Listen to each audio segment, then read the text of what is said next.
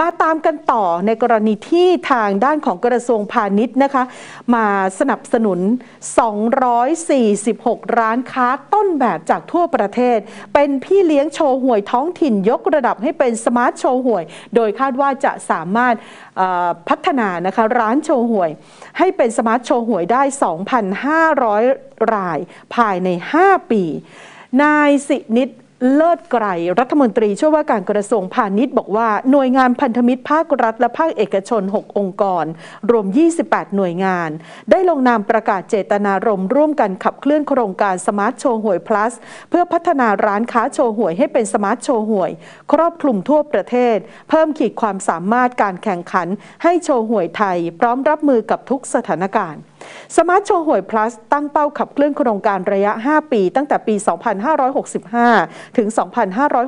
2569 โดยคัดเลือกร้านค้าส่งค้าปลีก ที่ได้รับการพัฒนาจากกรมพัฒนาธุรกิจการค้าทั่วประเทศ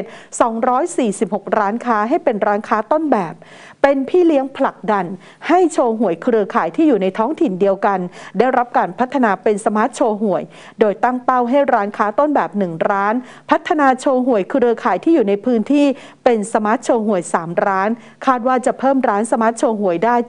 738 ร้านค้าในปีหน้าและภายใน 5 ปีคาดว่าจะมีผู้ประกอบการโชห่วยได้รับการพัฒนาเป็น smart โชห่วย 2,500 ราย ร้านโชห่วยท้องถิ่นที่ได้รับการพัฒนาจนเป็นร้าน smart โชห่วย จะได้รับตราสัญลักษณ์ smart โชห่วย plus by DBD และเพื่อนนะคะ เขาจะเอาไปติดไว้เลยที่หน้าร้านนะคะ แสดงถึงศักยภาพของโชว์หวยท้องถิ่นที่ได้รับการยกระดับให้เป็นร้านสมาร์ทโชว์หวย ผ่านการอบรมความรู้ศาสตร์ต่างๆ พัฒนาร้านค้าให้สวย สว่าง สะอาด สะดวกสบายนะคะ